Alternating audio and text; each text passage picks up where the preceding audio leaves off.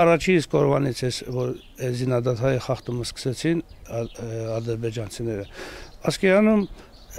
կարելի ասած վարկանապար բոլոր ազատամարտիկները հավաքվել են պատրաստեցինք որ սահման գնանք բացվեց որ մեր 18 տարեկան տղեկը մեզանից ավելի դուխով են ավելի լավ են ավելի պատրաստ են ավելի են այն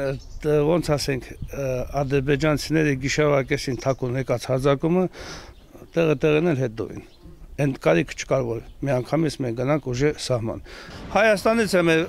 մարտական ընկերները եկել Ռուսաստանից են մեր մարտական ընկերները մի օրվա ընթացքում սա եկել հավաքել մեկ-մեկ խոսակցությունները գալիս որ Սիրիայից չգիտեմ ովքեր են եկել ինչ են եղել նրանք հեչ են մեր զինվորների մոտ մեր զինվորները պատրաստ են ամեն մի զինվոր պատրաստա 4 ինքած Սիրիայից եկած նայոմնիկի ինչ որ պետք է անցան այնա ապացուցում ենք սահմանի դիմաց մեր զինվորները դուխը տեղնա մեր զինվորները պատրաստ են իրանց դրած խնդիրը որը կոչվում է հայրենիքի պաշտպանություն կատարում են բարձր մակարդակով մեզ ինչա, մեզ ինչա պետք, մեզ պետք է միասնական ուժով մինչև Բաքու գնանք։ Եթե ուզում են, պաժալստա։ Ալիևը եթե ուզում է, խնդրեմ։